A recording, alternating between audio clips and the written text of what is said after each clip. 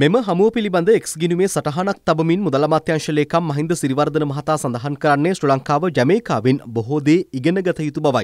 ශ්‍රී ලංකාව මීට වසර දෙකකට පෙර මුහුණ දුන් ආර්ථික අර්බුදය වැනි අර්බුදයකට ජමේකාවද 2013 වසරේදී මුහුණ දී ඇති අතර IMF වැඩපිළිවෙල තුලින් ඒ යථා තත්ත්වයට පත් කර ගැනීමට හැකි වී ඇති බවටයි එම හමුවේදී අදහස් පළබුණේ. ජමේකාව එම අර්බුදයේදී ක්‍රියා කළ ආකාරය පිළිබඳවද මෙම සාකච්ඡාවේදී අදහස් හුවමාරු කරගෙන තිබෙනවා. ජමේකා මුදල් සහ පොදු සේවා අමාත්‍යවරයා ප්‍රකාශ ප්‍රකාශ කර ඇත්තේ ආර්ථික ප්‍රතිසංස්කරණවලදී ගැටලුකාරී තත්වයකට මුහුණ දීමට සිදුවද අවසානයේදී ධනාත්මක ප්‍රතිඵල රටට අත්කරගත හැකි බවයි. ශ්‍රී ලංකාව ආර්ථික අර්බුදයෙන් මිදීමට ගත් තීරණ සම්බන්ධයෙන්ද ජමේකා අමාත්‍යවරයා ප්‍රසාදය පළ කළ බව මහින්ද සිරිවර්ධන මහතා සඳහන් කරනවා.